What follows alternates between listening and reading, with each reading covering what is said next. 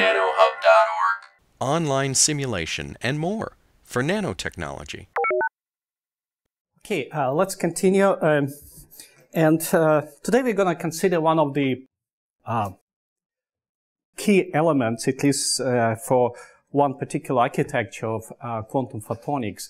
In this case, the idea is that you would excite optically uh, spin degree of freedom in some quantum emitter, like in this particular case, nitrogen vacancy in diamond. And we know that nitrogen vacancy has a long-living uh, spin uh, degree of freedom in uh, at room temperatures. So then uh, you could basically create this uh, certain spin uh, spin state, which is you could interpret like basically you put um, record some quantum memory, and then you need to transmit this information. And the way you do it, it's just you couple it to surface plasmon polariton uh, in a plasmonic waveguide as it's shown here. So ideally, for example, you could excite with a single photon certain spin state, and uh, the information about this spin state could be sent uh, with a single surface plasmon polariton along uh, this plasmonic waveguide, which then converted into a single photon which would be detected detected with single photon detector, or just that detector could uh, um, um, obtain this single plasmon polariton. So the idea that you control with light uh, spin degree of freedom, you write uh, this qubit and you read it uh, optically. But in this case, when we say optically, we mean that it propagates not in free space, but rather a surface plasmon polariton on a chip. Because ideally, we would like to have it on a chip. Um, one way or another, that probably would be uh, part of uh, any quantum photonic circuitry, an important one. So the question arises in this regard. We know that with plasmonic environment, we could, we could increase the uh, Purcell factor. We could uh, have very high Purcell factor, meaning that in this case, the, uh, for example, the emission of uh, single photon could be increased dramatically because of higher photonic density of states. But we don't know how the uh, this high Purcell factor, or let's say plasmonic environment in general, would affect the spin contrast or spin state which you create. Because one thing is how you control the emission of single photons. And for that, we know that the higher Purcell factor, the better. But what would happen with this spin uh, state which you create, or spin contrast? And uh, when I say spin contrast, I mean compared to the uh, state when it's, uh, to the uh, situation when it's not excited. So this is one of the problems to address. And uh, to the best of our knowledge, that uh, has not been really uh, much studied. And uh, we looked at, the, at, this particular problem uh, in our group last year. And another important part of this is how to precisely place nanodiamonds in a particular position. So if you, as I pointed out, uh, diamonds, of course, is a good diamond using diamond and color centers in diamonds. In principle, it's a good approach for uh, quantum photonic circuitry. But it's uh, relatively hard to integrate with uh, nanoelectronics. And uh, alternative way is to use nanodiamond and place them precisely in any position you want to. So that's uh, yet another problem, this precise uh, scalable position of nanodiamonds. And yet another one, you need to detect this, uh, uh, this uh, uh, signal by using single photon detector. Because as I said, ideally you do it all at the level of single quanta. So a single photon create this uh, spin degree of freedom, and then you excite this single uh, surface plasmon polariton, which is eventually detected with this uh, integrated single photon detector. That's the vision, and let's start with the spin contrast readout in plasmonic environment. This work was largely done by uh, my postdoc Semyon Bogdanov, and as I said, he addressed the problem how this plasmonic environment would affect the um, spin, uh, uh, the spin state. Uh, first of all, let's see how we create this spin state, how we create what we call spin contrast and what we call by spin contrast. So you could, uh, with a little bit simplification, you could uh, describe nitrogen vacancy in center uh, in with this schematic of energy levels. So there is a spin or a, a, its subsystem with projection of spin equal zero, and there is a, a subsystem with projection of spin equal plus minus one. So you could say, hey, we're dealing with spin uh, 0 subsystem and spin 1 subsystem. The separation between these two states is uh, 2.877 uh, gigahertz. And in principle, you could control it with microwave radiation. But if you excite it optically, and that's, uh, that's what we want to do, so uh, you could consider this radiation emission of photons, uh, photon emission for the spin uh, equal zero and for spin equal one. And in principle, if there would not be this non-radiative channel, when you go from spin 1 subsystem to spin 0 subsystem, this is purely non-radiative, then it would be the same intensity. So you would not see any difference in a uh, photo emission for spin equal 0 and spin equal 1. But because so there is this channel, when you basically convert it from spin equal 1 to spin equal 0, then the uh, photo emission for this uh, subsystem would be somewhat less. So, for example, if you uh, look at the fluorescence for the subsystem uh, with spin equals zero, you would get somewhat higher uh, fluorescence than in the case for of subsystem with spin equal one, because of this additional channel, non-radiative channel. Because there is no emission, but you go it from the upper state to the low electronic state. Basically, you convert from spin equal one to spin equal zero. So, and uh, what actually happens when you optically pump this system, that because of this non-radiation, uh, non-radiative uh, transition, you effectively convert this system from spin equals uh, 1 to spin equals 0.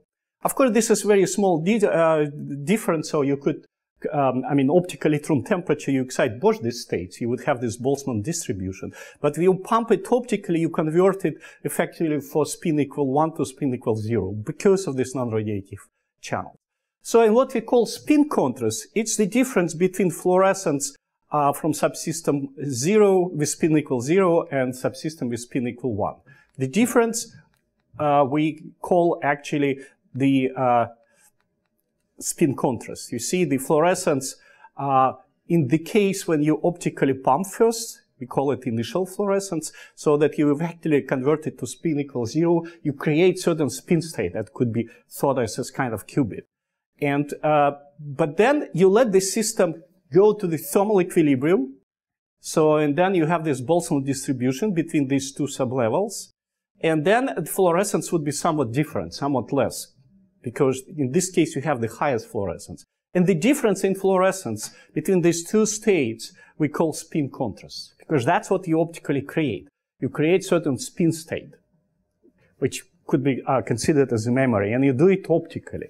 So in principle, you could convert from this level to this one uh, by using microwave and uh, radiation. And that's what people uh, do quite often. In this case, you have very high sensitivity to DC magnetic field, to AC magnetic field, because that's the way you uh, uh, do this transition between S equals zero and S equal one. And another simple way, which was proposed by my postdoc Semyon, actually very elegant and simple, you just wait enough and that uh, it would go this through this thermal equilibrization uh, that basically two-thirds would go to these states uh, and one-third would stay here. The simple way, and you would still get spin contrast. So, and that's what was measured. Basically, we would uh, place nanodiamonds on a sapphire substrate, and in some cases we have these disks of titanium nitride.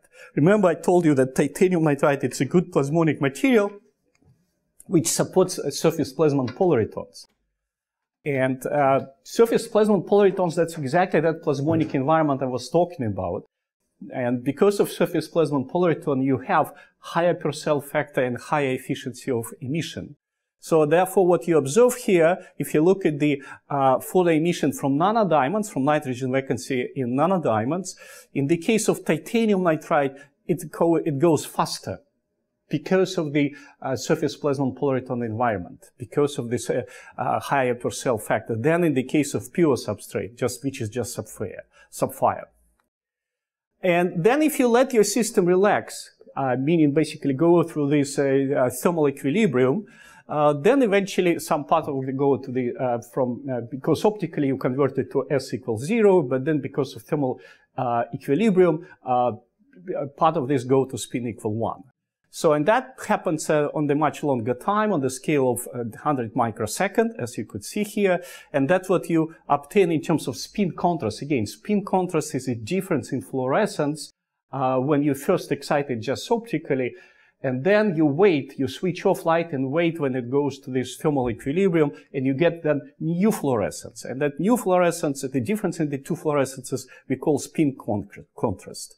And you could see that in the case of titanium nitride, when you have this plasmonic environment, the spin contrast is actually less.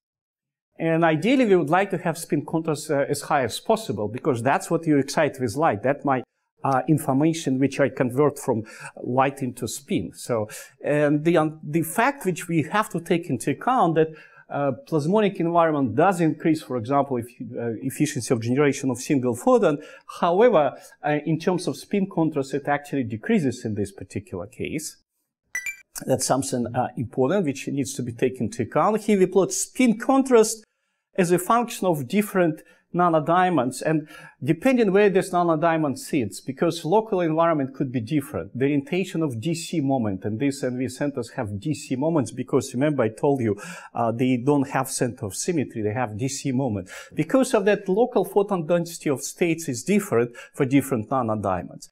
But still on average, in the case of when you look at the fluorescence from nanodiamond on sapphire, pure substrate, and compare it uh, for the case of titanium nitride, when you excite the surface plasmon polariton, that you do indeed have this smaller uh, spin contrast, uh, as was just uh, recently stated. Well, Semyon developed a simple kinetic model, uh, which basically looks the balance at, uh, of population of different levels involved, these, all these four levels involved, and it describes very well all the experimental observations. So the general tendency, uh, the shorter lifetime, and lifetime becomes shorter when you have stronger Purcell, when the efficiency of emission increases, the smaller spin contrast.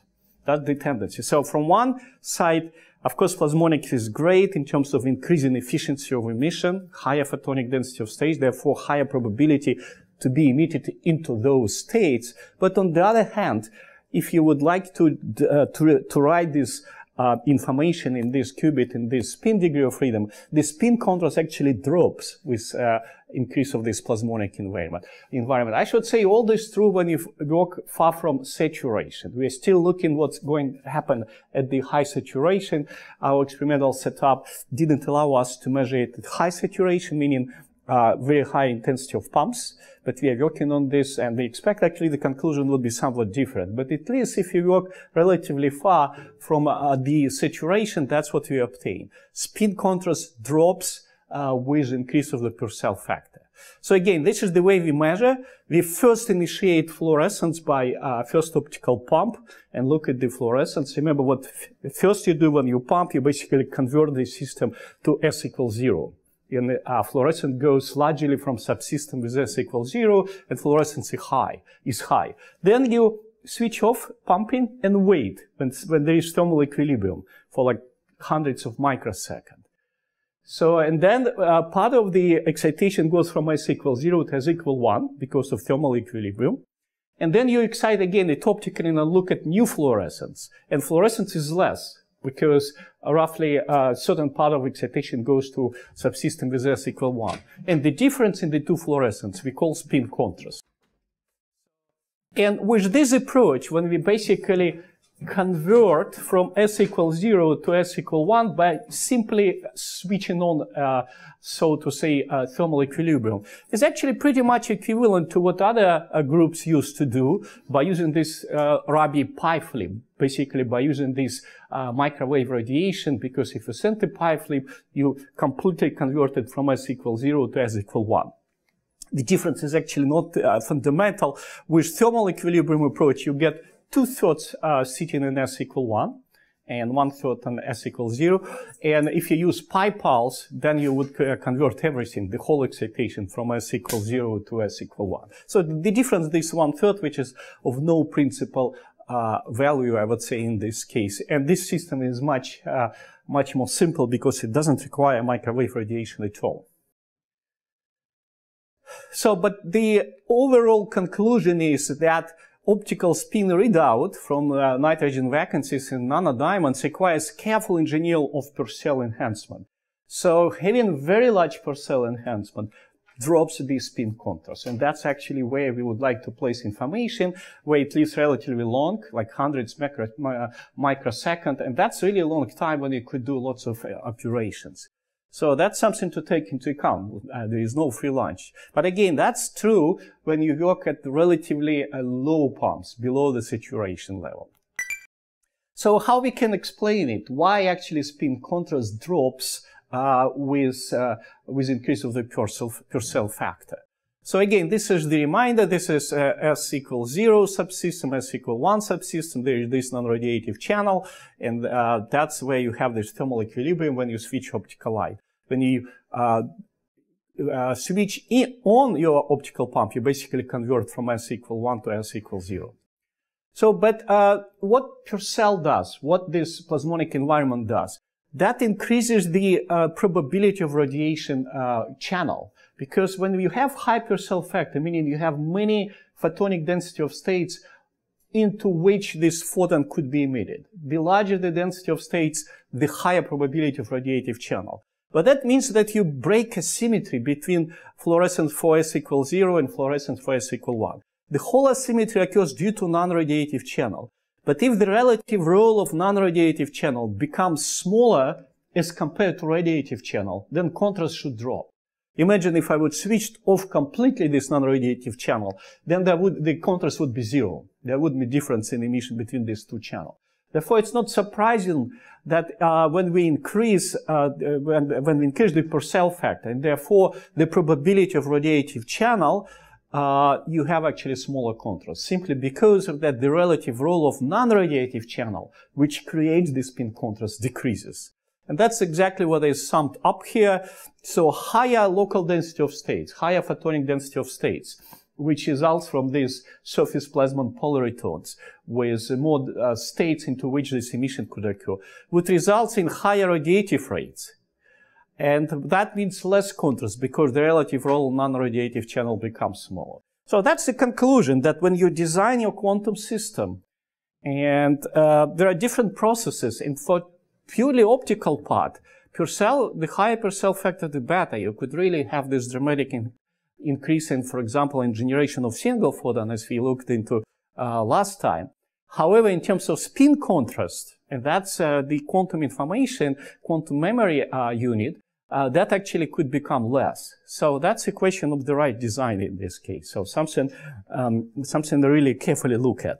But again, looking at very high saturation, uh, changing this story, but that's still uh, what we are studying. So hopefully within half a year, uh, maybe shorter time, we will have answer to that. There is a hope that in this case, actually, uh, you could take a big advantage of spin contrast sorry, of this high Purcell factor. Anyway, so that's something interesting and shows that life is not as simple as one uh, might think. So, and, uh, but that makes it even more exciting.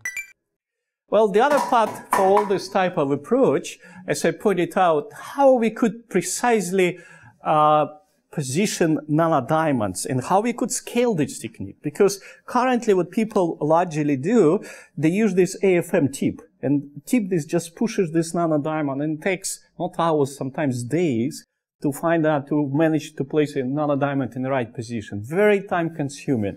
And it's, it, it, it, it, it's, it's, it's, it's quite pain on neck to do this. Could we just, in a, controllable way, to place antennas, to place, sorry, these nanodiamonds in every single point we want to, like in parallel, many of them. And it turns out it's possible, and my uh, and, and uh, actually, Professor Boltasseva's students Justus accomplished right that. He just uh, became a professor at the University of Vanderbilt, uh, starting from this fall. But it's a purely elegant uh, solution he found, which works amazingly well. It has to do with these um, nano-antennas and how to place particles into hotspots of nano-antennas. Well, it's known that you could trap a particle by nano-antenna. If you have nano-antenna, you have very high gradient of electrical fields.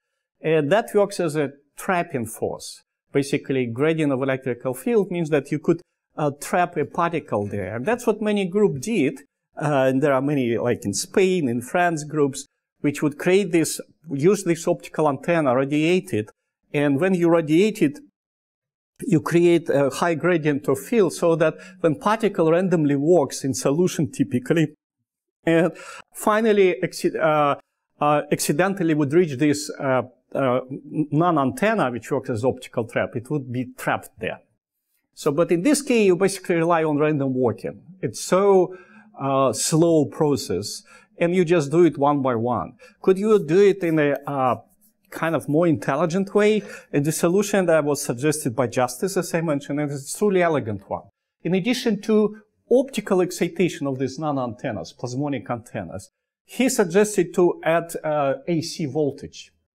And it turns out it makes a huge difference. How it works in this case. Because you irradiate it with light, you actually create areas uh, where temperature uh, jumps up. Because when you excite these uh, surface, plasmon, uh, surface plasmons in nano-antennas, uh, you locally increase the temperature. But because of increasing the temperature, uh, you actually have change in conductivity. So the point here that when you irradiate these antennas, you create a gradient in temperature which result, uh, which in turn results in gradient in conductivity. So, and when you have a gradient of conductivity, if, if you apply voltage, you have these strong vortices. So instead of this random walking of particles, now we have vortices, which in the matter of seconds bring particles right to this nano-antenna. As soon as this nanodiamond reaches uh, uh, a particular antenna, it gets trapped there because of these high gradient forces. So, and that's the very simple idea. And basically, he just the only thing he added to what other people did is to uh, put to, to, to, put here this voltage because he realized that these antennas create a gradient of temperature, which would result in gradient of conductivity or permittivity, and that would uh, by putting uh, by setting some voltage that would create these vortices. And that works amazingly fast. Instead of doing it days with AFM tip, so actually within seconds you place all these antennas in this in, in, in the position where sorry place these nano diamonds in the positions where you have these nano antennas so no matter where you want to have your nano diamond be placed you put all these antennas you fabricate them and then you irradiate it with light and uh, uh, set some voltage and then particles go right, right there. And when you switch off light they still stay there because of van der Waals forces so with this way, you place nanodiamonds right on these antennas, and you could do it in parallel, like thousands of them if you want. So this is really fast and precise delivery to plasmonic hotspots. It's very high resolution, uh, nanoparticle trapping, resolution defined by the size of this antenna, which could be very small. And you could immobilize a trapped object by switching off light, basically because of van der Waals, it stay there. And what the important is actually large scale, you, you have in this case large scale parallel assembly. So that's, uh, that's work actually uh, attracted lots of attention from uh, this quite large community working on trapping of particles in small antennas. So it's, uh, I would say, kind of disruptive uh, uh, solution proposed by Justus, and everybody now appreciates it as, as a very elegant way. So that solves the other part. I mean, the first part was uh, to look at how plasmonic environment controls uh, the spin contrast. And the other one, how to place nanodiamond in a particular uh, spot. So yet another, the third one, it's integrated single photon detector. Because remember, we would like with light create certain uh, spin state. So then we would send this information, which eventually would like to detect. So you write and read information about spin state you create, uh, optically in this case, but you would like to do it with single photons, and for that you need single photon detector. So this work we did with uh, a Russian group, uh, and specifically two key uh, people, uh, uh, Akimov, who is now actually professors, a professor in Texas University A&M, and, uh, and Professor Goltsman in Moscow. So we use this uh, superconducting uh, uh, single photon detector, which turns out to be very efficient and going way beyond to what uh, has been accomplished so far in terms of these single photon detectors. So for that, uh, uh, we use this superconducting material, this niobium nitride, and we make a meander of that. The thickness of this uh, strip is just only 4 nanometers, the width is 120, but the whole length is like 100 microns. It's very long. So this is superconducting meander. So, and you purposely, you, you work at temperatures when you uh, at the superconducting stage. And what happens when uh, your photon is absorbed, like single photon absorbed, you locally create area where uh, you actually go above the superconducting uh, point. So basically you switch from superconducting to conventional conducting point. And of course that results in uh, dramatic change in uh, resistance and in voltage and you detect it. And it turns out the characteristics of such uh, single photon detector is really remarkable. The jitter time, which defines how actually uh, how fast your photo detect is 62 picosecond, which is six times smaller with, uh, than a photo detector typically used. It's silicon-based uh, avalanche photo detector, six times smaller, meaning that it's you could detect it much faster. The low dark count is basically the background. We would like to have it as uh, as as low as possible, meaning that so that counts basically when you detect something when you shouldn't detect. In this case, it's thousand times smaller than in uh, silicon uh, avalanche photodetector. And the dynamic range, dynamic range uh, tells you how many photons per second you could detect is up to 350 uh, million counts per second so which is 60 times broader than uh, in the case of silicon avalanche photodetector. So it's in, in all characteristics, it actually uh, seems to be very good, and it's designed so that the highest efficiency actually in the visible range, and that's where this nitrogen vacancy actually emits. So because there are very good photodetectors for 1.5, and it is indeed very important, but as I pointed out, many things, many operations might be easier to do in the visible and then convert it to telecom. So this uh, single photon detector was specifically designed and engineered to work in the visible so that it would be able to detect single photons emitted by nitrogen vacancies. So, and to test this, uh, uh, we just used this hyperbolic material, which we developed in our group. Remember, it consists of this plasmonic material, titanium nitride, with uh, plasmonic layers, with dielectric layers, aluminum scandium nitride in between, and you have like 20 of these layers, and all this is like a, a single super lattice. So it's really single crystal structure. As I pointed out, it's very amazing uh, uh, uh, system, and all is grown in magnesium oxide, which, lattice, which matches the lattice. And we looked at the uh, emission from these nitrogen vacancies, and with this photodetector, we actually were able to detect this G2, which clearly shows that indeed we have single photons because it drops down close to zero. So that was success, uh, that allowed us to successfully test this, uh, uh, single photon, uh, uh, superconducting photodetector by using this plasmonically enhanced nitrogen vacancy center. So to sum up what we uh, discussed most lately, so with uh, hyperbolic metamaterials, and this is just one of the approaches, but as I pointed out, it's unorthodox. It doesn't involve any particular resonance, therefore doesn't involve any particular absorption. And therefore it doesn't involve slowing down, because the sharper the resonance, the slower response typically. By using these hyperbolic metamaterials, which have very high density of states, because of the topology, remember in this case, iso-frequency surface is given by this hyperbolic surface, uh, in K space. And because of that, you have very large density of states. You actually could significantly, dramatically increase emission of nitrogen vacuum, emission coming from um, quantum emitters, well, in particularly nitrogen vacancy emission, but it doesn't have to, of course, nitrogen uh, vacancy. It could be anything. However, most of energy in this case goes into propagating modes with high k, uh, where wave vector k is larger than omega over c. It means that it's a challenge to couple them. They propagate, they uh, carry on uh, energy, but they propagate within hyperbolic materials. And this was proposed by my uh, undergraduate students. So I remember Oksana, she actually suggested to make these grooves in hyperbolic metamaterial. And uh, she managed to show that actually in this case, 50 times higher collection of fish, uh, the, uh, the number of collected single photons going to photodetector. So, and uh, nitrogen vacancy ensembles at low excitation, meaning below saturation, I pointed out. So what we observe that spin contrast actually drops when you increase the emission enhancement. So when you have this high Purcell factor, the uh, emission increases, as we pointed out. However, uh, the spin contrast drops. So it's basically trade-off and you have to find the optimal conditions. So we need to optimize Purcell and to use structures with improved collection efficiencies. And so, as I also pointed out, there is this very efficient rapid deterministic positioning of nanodiamonds on plasmonic structures, uh, which uh, can be accomplished by what we call hybrid electrothermoplasmonic effects.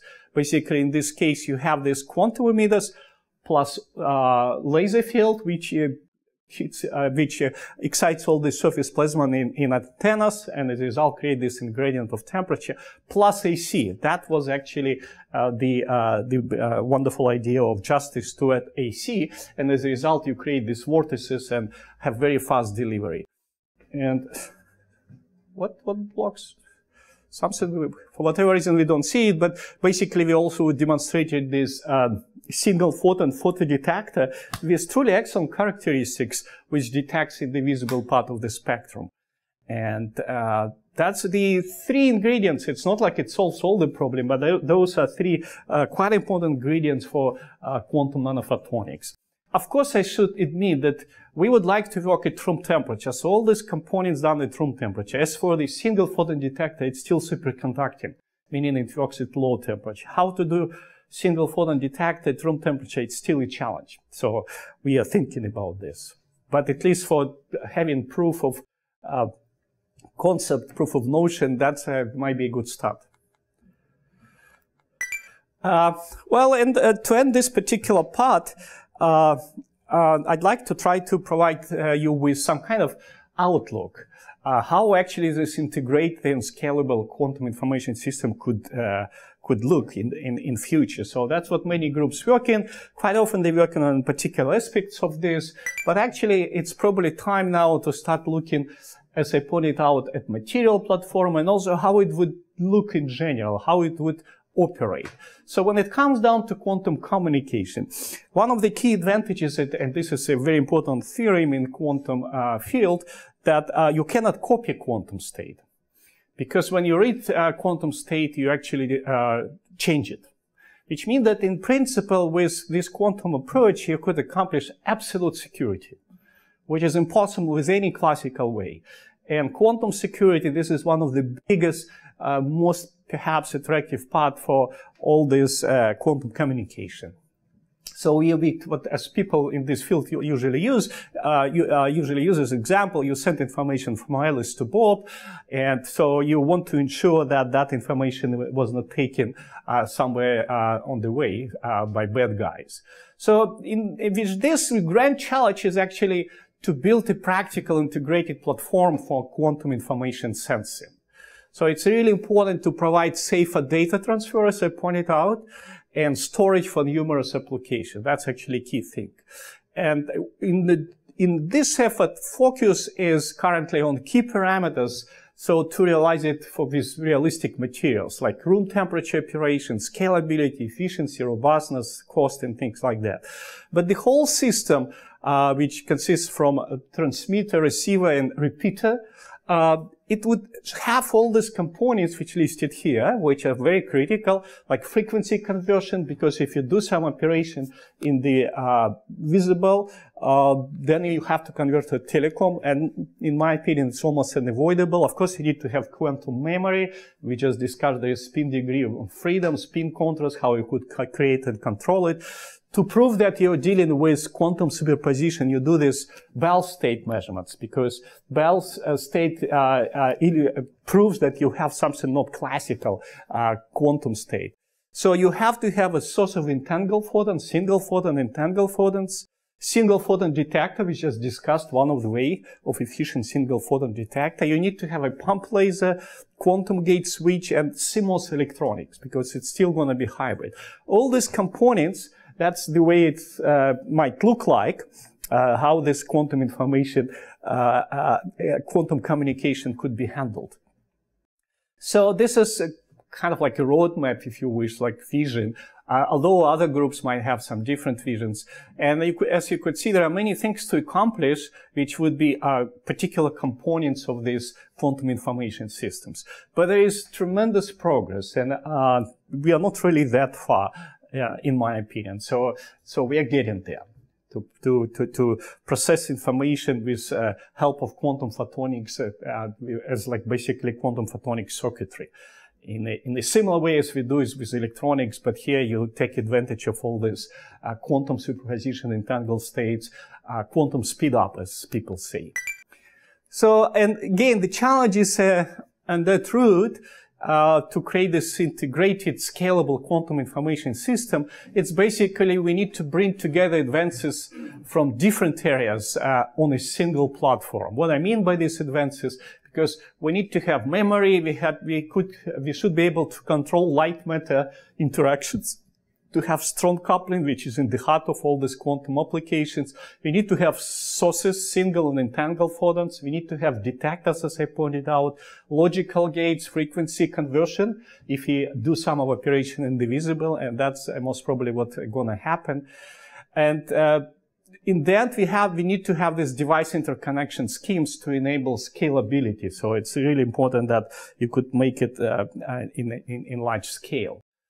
So in when you're doing so, you have to consider these challenges from both a device level and a system level.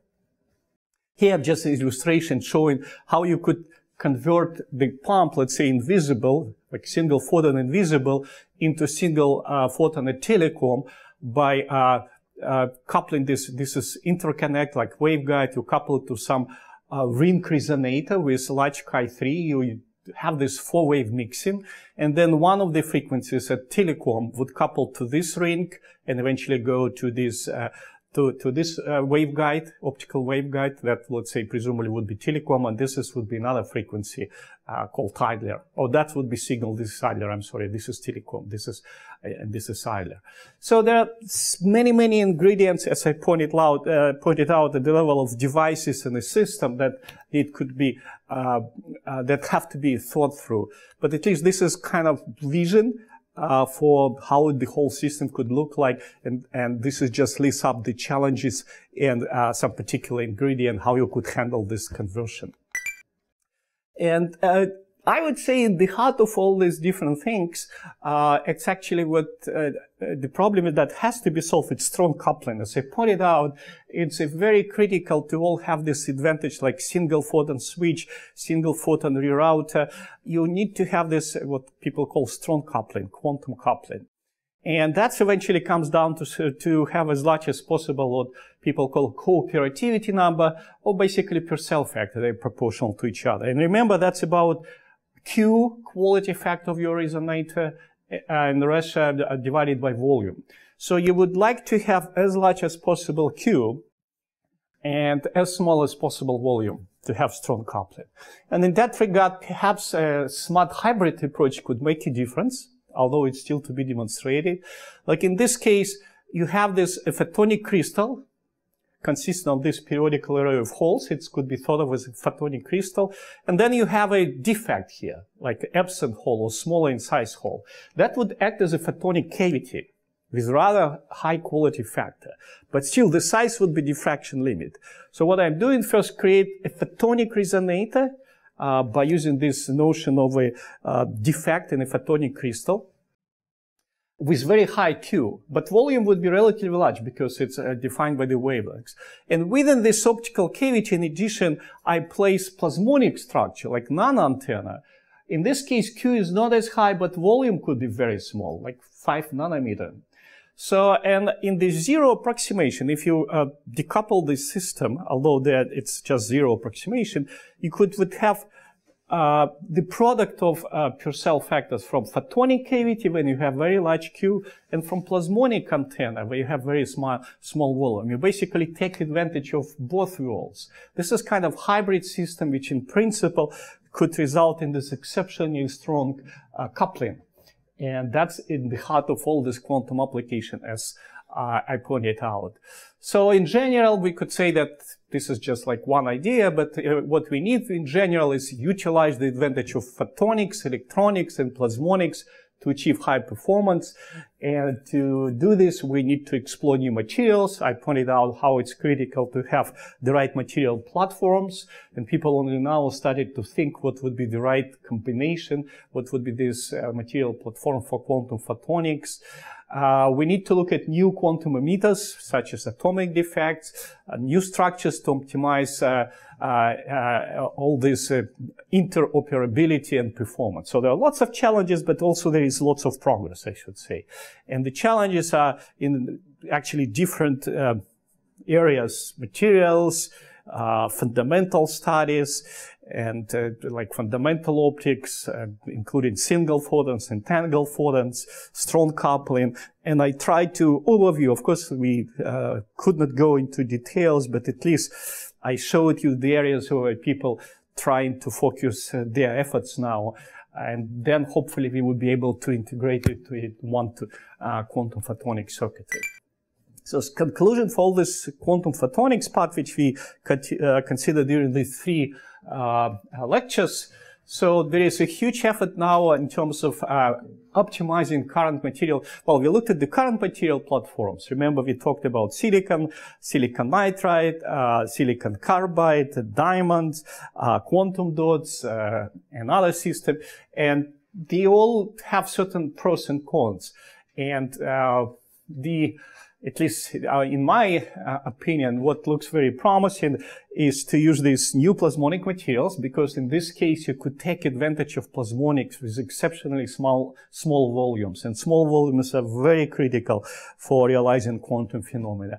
And use these most compatible uh, plasmonic materials that recently developed in uh, several groups. So therefore, these alternative plasmonic materials in the new hybrid platform for quantum photonics uh, seems to be quite promising.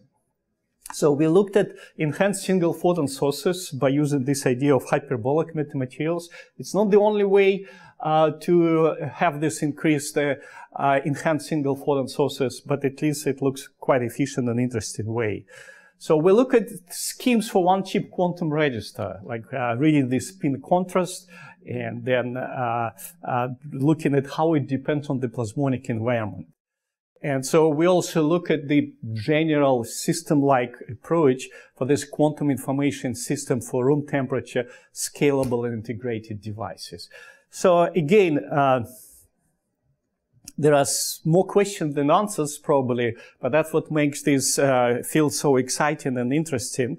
Uh, uh the goal of this overview was uh, indicate uh, what are the biggest challenges where uh, leading groups are now putting their efforts on and what we could expect eventually uh, from this quantum photonic circuitry.